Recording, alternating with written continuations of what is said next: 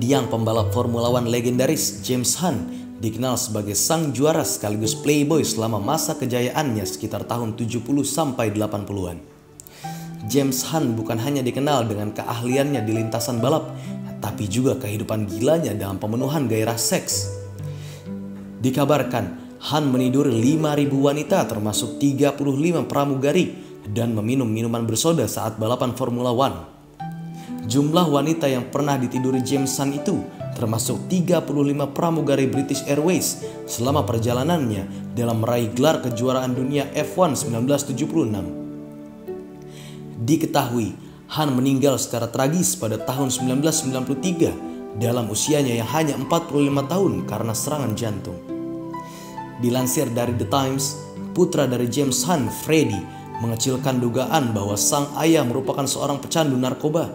Namun, Freddie justru sangat percaya dengan kemampuan sang ayah dalam hal lawan jenis. Bahkan, dilansir dari Mirror, Freddie mengungkapkan banyak persediaan nyonya rumah baru yang akan datang dan singgah di hotel, juga berbeda-beda setiap malamnya. Han pernah menikah dengan model, aktris, dan penari Suzy Miller. Namun, Suzy meninggalkannya demi aktor Richard Burton. Han kemudian menikahi istri kedua Sarah Lomax pada tahun 1983 dan memiliki anak Tom dan Freddie. Setelah putus dengan Sarah, Han menemukan cinta lagi dengan Helen Dyson yang 18 tahun lebih muda darinya. Han melamar Helen pada tahun 1993 sebelum meninggal secara tragis keesokan harinya.